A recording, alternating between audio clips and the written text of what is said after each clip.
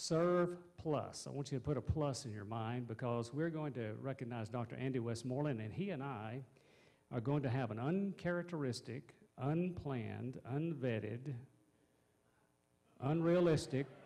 no, no, no, no, you got to come up here. I've already announced you, I've called you out. Before we have our actual State Board of Missions presentation related to the budget and the like, I want to thank Dr. Westmoreland because he has helped us in terms of our being able to move to an equitable distribution with the cooperative program giving with our Southern Baptist Convention family.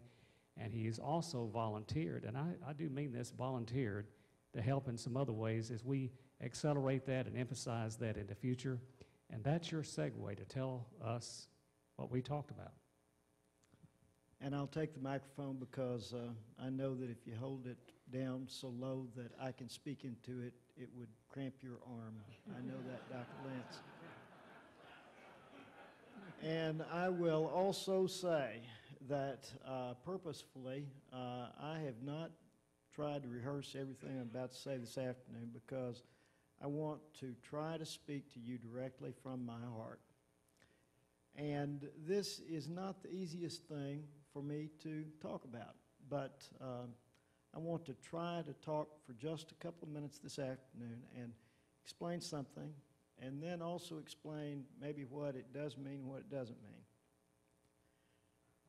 We come to this meeting every year, other meetings like this, and we celebrate the great work that God is doing through all of these lives. And we've heard wonderful stories here just over the last few minutes, compelling stories about what's happening in individual churches and then what's happening through gifts that come through the cooperative program that bless people near and far.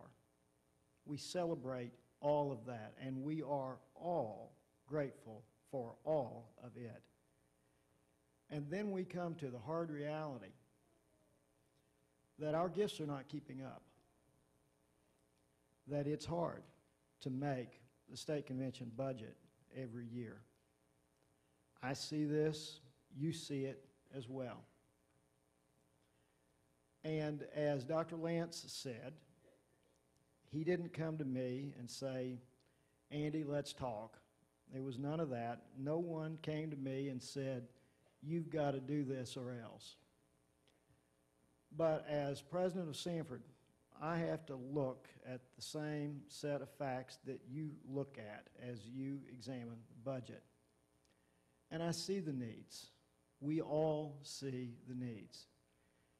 And I would say that while all of our ministries across the board have equal value, I have to admit as president of Samford that all of our ministries do not have equal access to resources.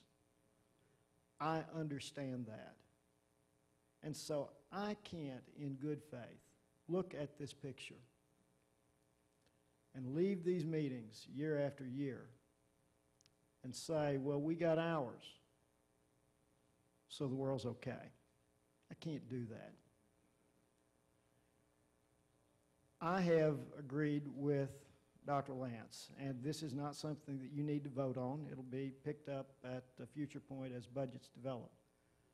But I have agreed, and the executive committee of my board of trustees has agreed, that over a period of years, five, six, seven years, that Samford will act unilaterally to reduce our allocation through the cooperative program by about half. In round numbers, that's about $2 million over that period of time. In round numbers, it will be somewhere between 300, three and $400,000 a year less going forward. It's important to us to be able to plan realistically in agreement without theater involved, just looking at the numbers, putting those in the budget, making sense of all of that going forward, rather than to sit back and wait for some kind of calamitous event to occur. I'm reminded of a, of a story that is credited to Lincoln, where when he had two young boys and he was walking down the street in Springfield, Illinois with his boys, and both of them were crying. The fellow stopped him and said, Mr. Lincoln, why are your two boys crying? And he said, Well, I have three walnuts, and each boy wants two.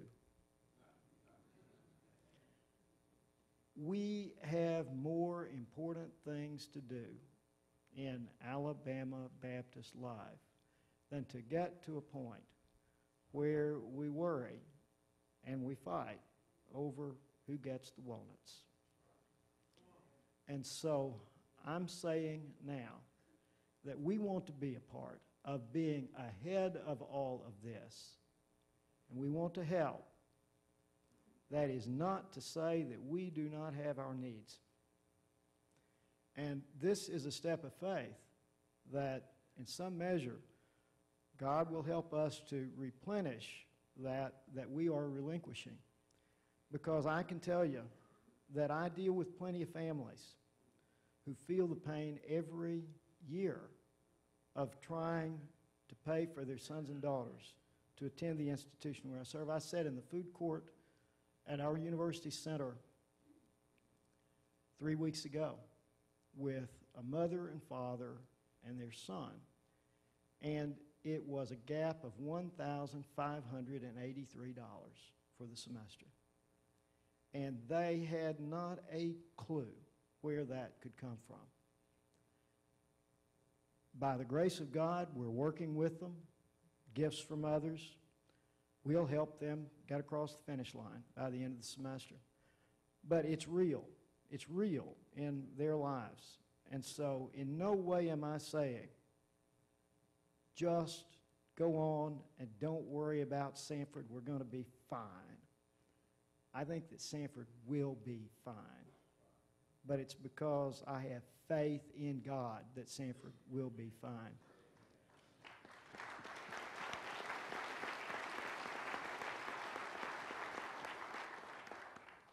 So, Dr. Lance, I want you to know that you have friends at Samford University, people who are committed to this work, people who will be committed regardless of the money. We love you and we love Alabama Baptist, and thank you. Thank you, Mark.